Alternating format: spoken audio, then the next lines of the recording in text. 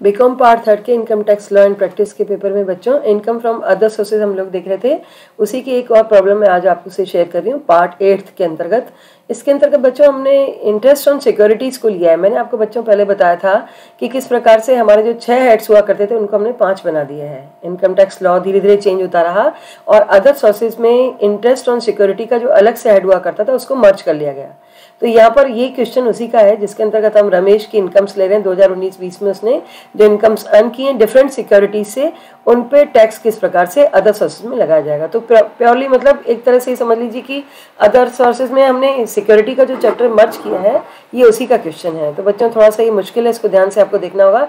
कुछ लॉजिक्स इसके पीछे हैं, वो मैं आपको पहले समझा देती हूँ, क्योंकि मैं अब इस, क्योंकि हमारे पास कोर्स भी करना है, इसलिए हम क्या कर रहे हैं हर क्वेश्चन के साथ साथ उसके सारे रूल्स को भी समझते जा रहे हैं। और क्वेश्चन की लिमिटेशन है बच्चों, मैं आपको दो या तीन ही क्वेश्चन हर चैप्टर में करवा पाऊँगी या चार क्वेश्चन मैक्सिमम तो आपको इसके और क्वेश्चन भी करने होंगे।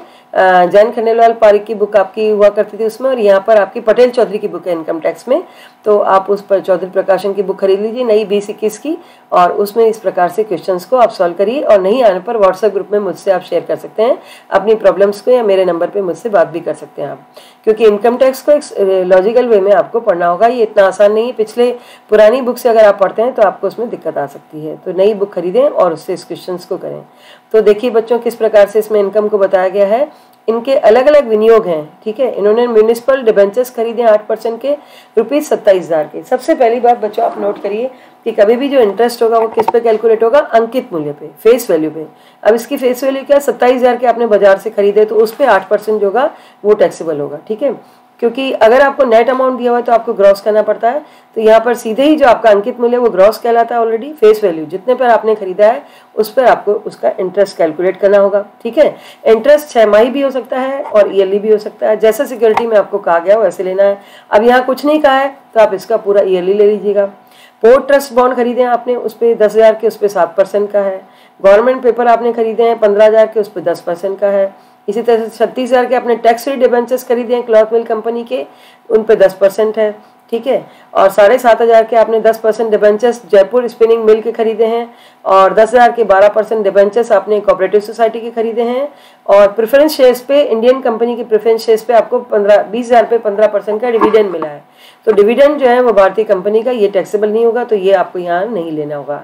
बाकी के कैलकुलेशन करके अपन को लेना पड़ेगा ग्रॉस अमाउंट फिर इसमें आपको नीचे ये कहा गया है कि उपरोक्त विनियोगों पर ब्याज का भुगतान हमेशा प्रतिवर्ष एक जून और एक दिसंबर को किया जाता है। ये दो डेट्स आपको इन्होंने दे दी हैं। तो अपने को देखना होगा कि अब आपने कब खरीदे हैं। उन्नीस बीस के दौरान खरीदे तो दोनों का छह छह माही लेकर के साल भर का लेंगे। और अगर कोई विनियोग की डेट ही दे दे कि आपने साल के बीच में खरीदा, जैसे एक जून और एक दिसंबर के बीच में खरीदा हो, सितंबर में खरीदा तो उसके बाद जो डेट आएगी ना, आपको सिर्फ़ ये देखना है कि आप उस सिक्योरिटी को कब होल्ड कर रहे हैं। अगर आपने सितंबर में खरीदी सिक्योरिटी तो आप उसके बाद में केवल एक दिसंबर को ही होल्ड कर पा रहे हैं। तो एक दिसंबर को आपको सिर्फ़ छह माही का ही ब्याज मिलेगा। और अगर आपने उस सिक्योरिटी को जून से ही पहले खरीद लिया हो, आपका साल कहाँ से चल रहा है बच्चों? अपना साल? अपना साल चल रहा है एक अप्रैल से इकतीस मार्च। अगर मान लीजिए आपने सिक्योरिटी अप्रैल में खरीद ली, ठीक है? तो फिर उसमें क्या होगा? जून और दिसंबर दोनों का ब्याज यानी साल भर का ले रहे हैं आप। और अगर कोई डेट ही नहीं थी खरीदने की तो आप ये मानते हैं कि शुरू में खरीदा तो साल भर का ले रहे हैं, जो मैंने आपको पहले बताया। Municipal debenture port trust bond government paper इन सब के लिए अपन साल साल भर का ले लेंगे। और कहीं स्पेशली कहता है कि आपने जून के बाद खरीदा उसको तो उस पर उस पर केवल छह माही होगा। मतलब बहुत सिंपल सी बात है, इसको ज़्यादा परेशान नहीं होना। आपको सिर्फ़ ये देखना है कि जिस दिन सिक्योरिटी का ब्याज मिलना है, उस दिन उसका स्वामी कौन है? यानी खरीदना बेचना मार्केट में चलता रहेगा। आपको सिर्फ़ ये देखना है, ब्याज उसी आदमी को दिया जाएगा जो कि उस दिन उस प्रतिभूति का स्वामी है। ठीक है, केवल ऑनर को उसका ब्याज दिया जाता है। तो लाभांश को भुगतान मई में किया जाना है और एक सितंबर 2019 को उसने बीस हज़ार रुपए का आठ परसेंट वाला यूपी सरकार का एक ऋण खरीदा, बीस हज़ार गवर्नमेंट पेपर है यूपी गवर्नमेंट लोन पेपर वो उन बॉन्ड है, उन्होंने बीस हज़ार छह सौ रुपए में खरीदे। अब इस पे ब्याज देखिए बच्चों कब है, तीस जून को और थर्टी दिसंबर को दे। और आपने सिक्योरिटी को कब खरीदा? एक सितंबर 2019 को। इसका मतलब 30 जून के बाद आपने खरीदा है। तो 30 जून के बाद खरीदने के कारण एक सितंबर 2019 को खरीदने पर आप ये मत समझना कि 19 से लेकर एक सितंबर 19 से ब्याज देंगे। नहीं, क्योंकि ब्याज की रेट फिक्स है। ऐसे थोड़ी होगा प्रतिभूति के लिए जब जो खरीदेगा उसके लिए जो है बार बार कैलकुलेशन होगी, नहीं होगी। छः छः माही कैलकुलेशन होगी, तीस जून को जो स्वामी था उसको मिल गया उसके बाद, और एक सितंबर को इनका ट्रांजेक्शन हुआ। इसलिए जब प्रतिभूति जिस दिन ब्याज मिलना होता है उस दिन कम, आप देखेंगे मार्केट में ट्रांजेक्शन बहुत कम होते हैं उस दिन, क्योंकि लोग सोचेंगे ब्याज लेके फिर बाद में सेल करें। तो जिसको, जो होल्ड कर रहा होता है उस प्रतिभूति को होल्ड ही कर लेता है उस दिन। लेकिन अब इसने एक सितंबर को सौदा कर लिया है तो उसके बाद में इकतीस दिसंबर को जो उसका स्वामी है, उसको उसका मिल जाएगा, और अब उसका स्वामी अपना कौन है? जिसका ये क्वेश्चन है रमेश। रमेश उसका स्वामी है इकतीस दिसंबर को, इसलिए उसको छह महीने का अपन इंटरेस्ट इसकी फेस वैल्यू पे देंगे। बीस हज़ार इसकी फेस वैल्यू है। अभी खरीदा उसने बीस हज़ार, छह सौ पे लेकिन उस पर आप कमीशन नहीं देंगे। क्योंकि क्या होता है बच्चों, जहाँ से इसका इंटरेस्ट मिलता है, वहाँ पे अमाउंट इसका फिक्स है। फेस वैल्यू लिखा हुआ है, अंकित मिले कि बीस हज़ार का था। तो बीस हज़ार पे कैलकुलेशन करके आप आठ परसेंट इंटू छह महीने का उसको दे देंगे। एक बटा दो करके कैलकुलेशन कर देंगे इसकी। चलिए, आगे चलते हैं। ये सब तो प्रतिभूतियों के ब्याज अपन लिखेंगे। फिर इस उद्देश्य के लिए उन्होंने अपनी बैंक से बारह हज़ार रुपए का लोन भी लिया है, आठ परसेंट की दर से। तो बैंक क्या करेगा? बैंक तो क्या करेगा? सारे जो उसके कमीशन है ना, ये सब, ये बैंक में अकाउंट में आपके कलेक्ट हो होंगे। बैंक का काम इतना सा है कि आपके कमीशन को इकट्ठा करता है, अपने, आपके अकाउंट में जमा हो जाता है ब्याज। फिर उस, जो जमा होगा, उस पर वो आठ परसेंट ले लेगा आपसे कमीशन फ्री में तो आपके लिए कोई काम नहीं करेगा ना तो वो आपके लोन पर आठ परसेंट की दर से कमीशन बैंक ले लेगा। चलिए, आगे बढ़ते हैं। इसके बाद क्या हुआ? बैंक ने कमीशन ले लिया, है ना? नहीं बैंक ने उनको ऋण दिया था आठ परसेंट की दर से। आपने बैंक से लोन लिया था, ये तो दो बातें यहाँ पे।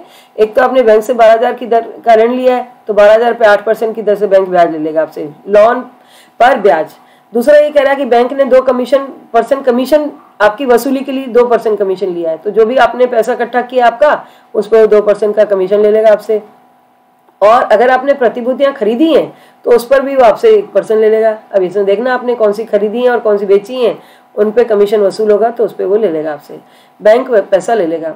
कपड़ा मिल कंपनी की ऋण पत्र बम्बई स्कंद विनिमय पर सूचित है है ना? कपड़ा मिल कंपनी कौन सी थी इसमें? है ना? क्लोथ मिल कंपनी, उसके जो है लिस्टेड थे डिबेंचर्स ठीक है? और आपसे कह रहा है कि जयपुर स्पिनिंग मिल के ऋण पत्र किसी भी स्कंद विनिमय पर सूचित नहीं है।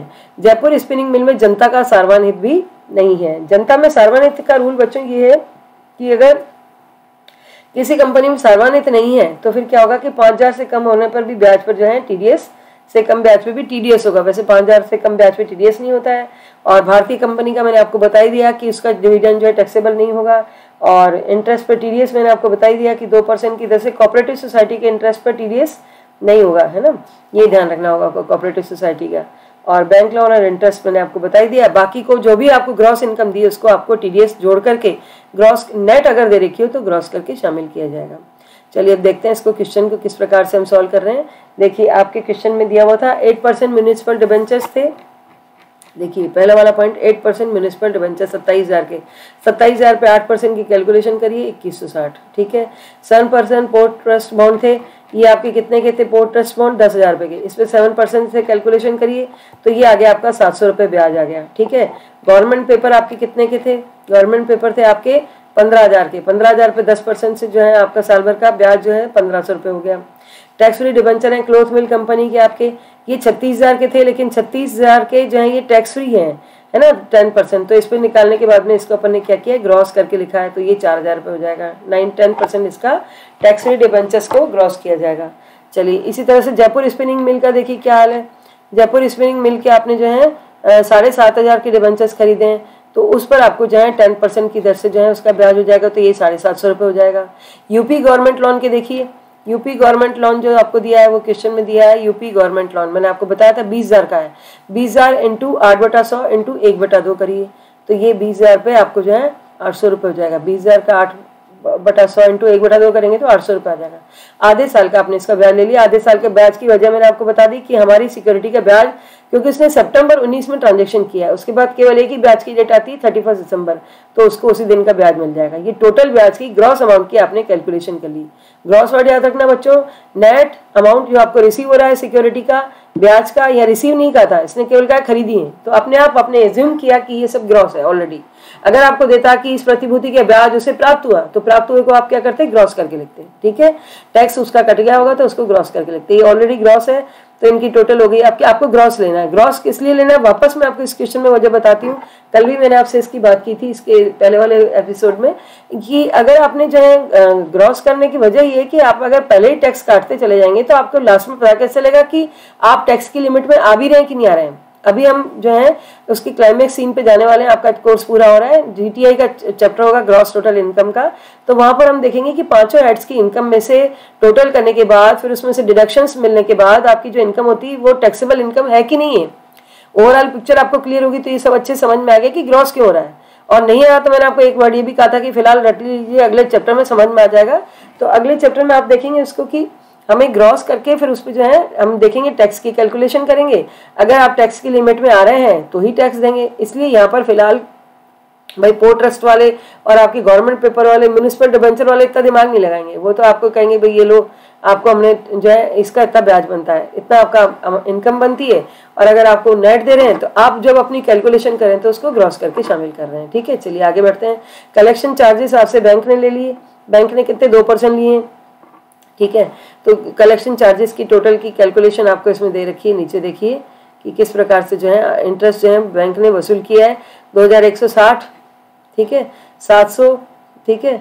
और 4000 और 750 और 800 और 1500 9149 पर अपने जो है इसका टू परसेंट की दर से जो है इससे कमीशन बैंक ने आपसे वसूल कर लिया है। क्योंकि ये नाइन्टी परसेंट पे जो है एकत्र की, की राशि पे ना उसमें से टैक्स कटने के बाद में जो आपको नाइन्टी परसेंट मिला है अमाउंट उसका, उस पर जो है नौ हज़ार एक सौ उनपचास पे ब्याज की गणना की गई है, ठीक है? इसी तरह से जो है, छत्तीस सौ वाला आपको बताया था, कपड़ा मिल कंपनी के, उनका पाँच हज़ार से ज़्यादा नहीं होने पर कर मुक्त होने के कारण उसको ब्याज को सकल बनाया गया है, ठीक है? तो ये छत्तीस हज़ार, छत्तीस सौ को सौ बटा नब्बे करके चार हज़ार अपन ने किया था, है ना? चलिए, और इसी तरह से इंटरेस्ट ऑन लोन बैंक ने बारह हज़ार पे आप, बारह हज़ार इंटू आठ बटा सौ इंटू सात बटा बारह तो ये आ जाएगा आपका पाँच सौ साठ रुपये तो पाँच सौ साठ रुपये कलेक्शन चार्जेस बैंक ने इंटरेस्ट पे लोन लिए लोन पे इंटरेस्ट लिया आपसे। इनको जोड़ लिया आपने तो ये हो गया सात सौ तैंतालीस रुपये तो नौ हज़ार नौ सौ दस में सात सौ तैंतालीस आपने माइनस की तो आपकी इनकम आती है नौ हज़ार एक सौ सड़सठ रुपये और एक कोऑपरेटिव सोसाइटी की अलग से इनकम है क्योंकि उसके कलेक्शन चार्जेस आपको अलग से लेने हैं और इनकम है उसकी बारह सौ रुपये जो आपको बताया था मैंने कि कोऑपरेटिव सोसाइटी का होगा। सहकारी समिति के ऋण पत्रों पर ब्याज उद्गम स्थान पर नहीं काटा जाता है। अतः ब्याज जो है बैंक को सकल ही मिला है। वो मतलब कॉपरेटिव सोसाइटी वाले कहते हैं हम टैक्स काट काट के जमा नहीं करेंगे, आप अपने आप जानो। हमारा तो ये अमाउंट है, ये ले लो। तो बैंक क्या करता है, फिर उस पर पहले ही जुड़ा हुआ है तो ग्रॉस अमाउंट कहलाता है, ठीक है? कटौती नहीं की तो इसलिए सकल राशि उनको बैंक को प्राप्त हो गई है, और उस पर उन्होंने जो है, उस पर चार्जेस ले ली। जो उन्होंने कलेक्ट किया, उस पर वो चार्जेस लेंगे डेफिनेटली चलिए, ये क्वेश्चन रहा और लास्ट आपको एक पॉइंट और रहा है इसमें कि जयपुर स्पिनिंग मिल में जनता का सार्वजनिक नहीं है, मैंने आपको बताया। तो इस कारण से क्या उसमें पाँच हज़ार से कम ब्याज होने पर भी टीडीएस किया गया है। और भारतीय कंपनी के लाभांश जो है वो टैक्स फ्री होंगे। तो बच्चों, बहुत सारी चीज़ें इनको आपको जो है शॉर्ट नोट्स बनाइए, क्योंकि कोर्स की लिमिटेशन है तो इतना डिटेल हम इनकम टैक्स आपको नहीं पढ़ा सकते। लेकिन मेरे को काफ़ी इसका लंबा एक्सपीरियंस है तो आप कभी भी अगर पूछते हैं तो अपने क्वेश्चंस करते हुए साथ में प्रॉब्लम मैं आपको मुझसे अगर आप पूछते हैं तो मैं पूरा क्वेश्चन आपको नहीं समझा के आप जितना कर लेंगे, जहाँ अटकते हैं आप। केवल वही पॉइंट मुझसे पूछेंगे इसी किताब में तो मैं आपको इस किताब में से देख करके बता दूँगी कि ये कैसे कैलकुलेशन की गई है। तो पहले इसके सारे सॉल्व इलिस्ट्रेशन करिए, सारे चैप्टर्स के, और उसके बाद में अनसॉल्व भी करिए, और जहाँ प्रॉब्लम आती है आप मुझसे शेयर कर सकते हैं। धन्यवाद।